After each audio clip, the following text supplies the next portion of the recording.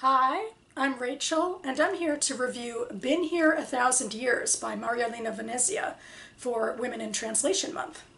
In a shocking twist of fate, this is the first book in four years I've reviewed for this project that is not by an Israeli author. Women in Translation Month was started in 2014 by book blogger uh, Meytal Verdzinski. She noticed a dearth in English language markets of translated fiction written by women. This month was meant to bring attention to those authors and translators. Link to more information about WIT month down below. Been Here a Thousand Years was translated from the Italian by Marina Harss. I first heard about this book five years ago from an article in Book Riot entitled Reading Across Italy.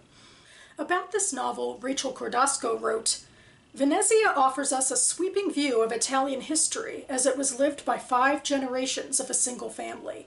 Set in Grottole, this is the story of Francesco Falcone, a wealthy landowner, Concetta, his mistress, and their many children, grandchildren, etc., etc. As with any family history, this one includes joys, tragedies, disappointment, and delight. A must read for anyone interested in Italian cultural history. El Mundo from Spain blurbed that this book echoes the magical realism of Gabriel Garcia Marquez. Latin American magical realism is seen as a distinct form, as Jen from Insert Literary Pun reminded us recently. In her WIT month video, A Tangent Filled TBR, she says, There's a real political backbone that is often absent from other novels that we call magical realist, uh, just for their fabulous elements. I think she would agree that this Italian novel is definitely political, and if anything is kind of light on the magical realism. It's true that this book begins with a bizarre scene of olive oil, first mistaken for piss, rolling through the alleyways of Grottole. And this is because Concetta screamed so loud during her labor pains that she broke the jars of olive oil that Don Francesco was uh, storing for his family. But that's not exactly fantastical. It's the fact that Venezia covers so much ground in so little space, 130 years and under 300 pages, that gives the novel a fairy tale feel. The moral of this story is that the women of the family long for life and love, and take ever broadening circles out of Grottole. But the ones we follow come back and ultimately feel indifferent at best toward their daughters and their husbands. Frankly, I think there were too many characters in here and not enough to remember them by. It truly feels like, as Candida, one of the characters, says at the end of the novel, that they've been here for a thousand years doing the same thing over and over. The last descendant, Gioia, keeps popping up decades and centuries before she was born, which obviously made her the protagonist. Not that she's an apparition or anything, but it's more about the narrator making foreshadowing remarks. But once Gioia's life slides into the historical timeline, Venezia does give her the most amount of pages.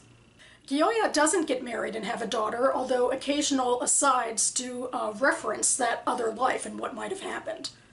Instead, she moves to Paris as a sort of vagabond come actress. She has a love affair with a Greek expatriate, Spyros. When it ends tragically, Venezia intersperses scenes from the death of Gioia's uh, great-great-grandfather, uh, Francesco. It seems a little nonsensical, except that both of these characters were duped by uh, political situations beyond their control. The novel opens in 1861 when Rome was chosen as the capital city for the newly unified Italy. It closes in 1989 when the Berlin Wall comes down and hence Berlin the city is reunified.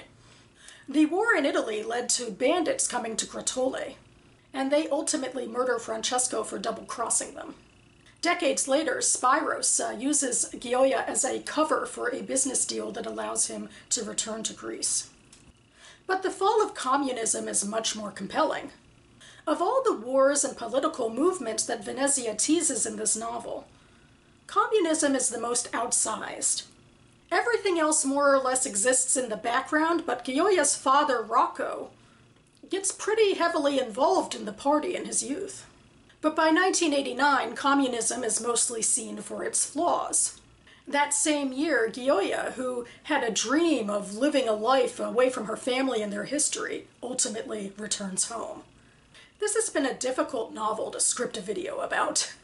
When I was reading it, the halfway lyrical and halfway luridly crass writing would compel me for a while. But if I stepped away, I'd often forget details. To be quite honest, I kinda miss my Israeli fiction. That being said, I think the most memorable character in here is, well, southern Italy. The hardscrabble land where everybody has to fight for their piece of the pie. Viewed by their neighbors to the north as a place of primitive anarchy. Like the residents are scalping Indians from a Western movie, one character thinks to herself when traveling there. Maybe it sticks out to me because my grandfather's family is Neapolitan from southern Italy. So I appreciate the attempt to give uh, Grottole a little more dimension. So that about covers it for me now. You can find links to all the various things I've talked about, including my Goodreads review for this book, linked down below. I should be back tomorrow to talk about my Friday reads. In the meantime, thanks so much for watching, everyone. Hope you're all enjoying your Women in Translation Month, and I'll see you next time.